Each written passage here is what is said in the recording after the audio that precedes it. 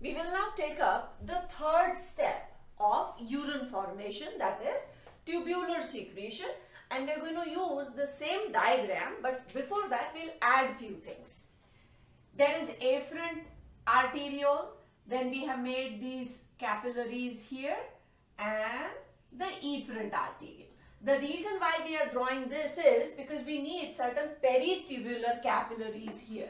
So these efferent arteriole, this comes down and it surrounds these tubule part that is PCT and DCT. So here there are these capillaries which are around these tubules. So this is the one which we call the peritubular capillaries. This part is peritubular capillaries. And the reason why we need this because when tubular secretion takes place, the two main parts of the nephron which help in this tubular secretion are PCT and DCT. And they absorb all the waste which is to be secreted from the peritubular capillaries. So, if we talk of PCT, PCT is going to take the substances from this peritubular capillaries, that is the blood which is flowing through this.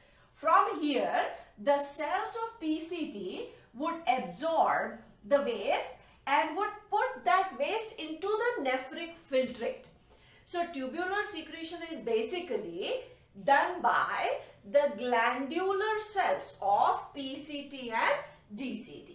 So by glandular cells of PCT and DCT. So what are they doing?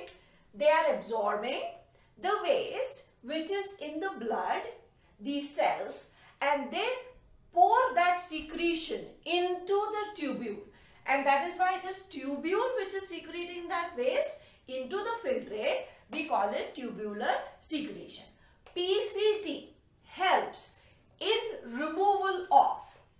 There are certain things which are removed by PCT by this process and those things are excess of hydrogen ions, ammonia, creatine, hippuric acid and drugs.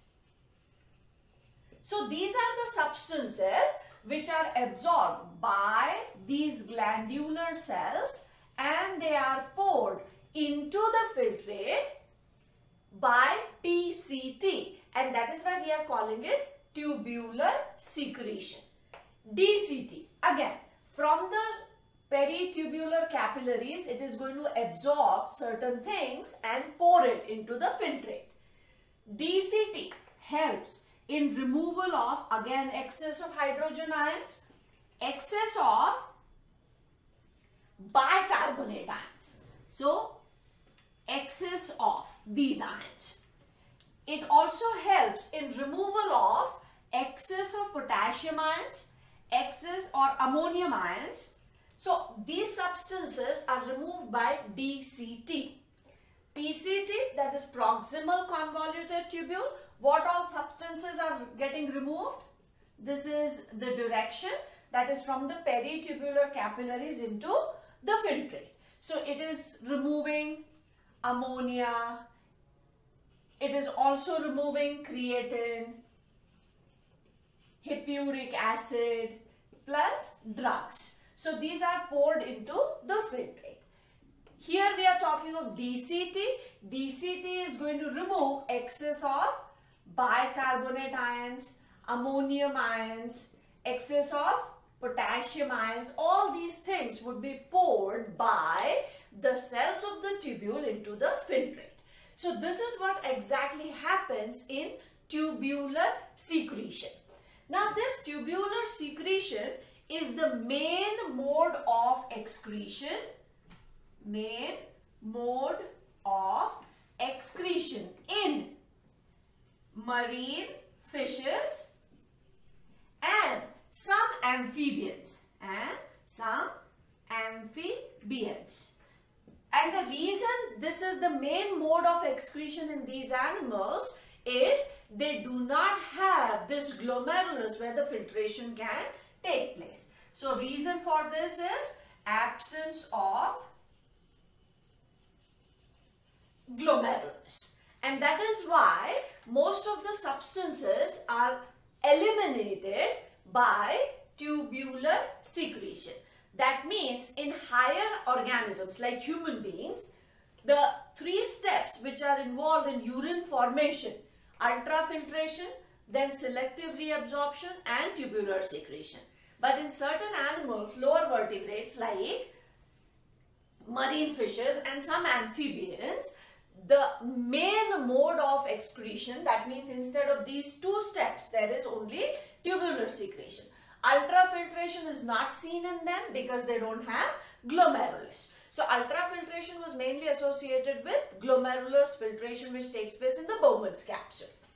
So we have seen how urine formation takes place. Three steps, ultrafiltration where the blood gets filtered through glomerulus and a filtrate is formed here. The filtrate is known as nephric filtrate then selective reabsorption takes place when this filtrate passes through various parts of the nephron. Depending upon the threshold of that substance, the substance can be absorbed 100% or partially.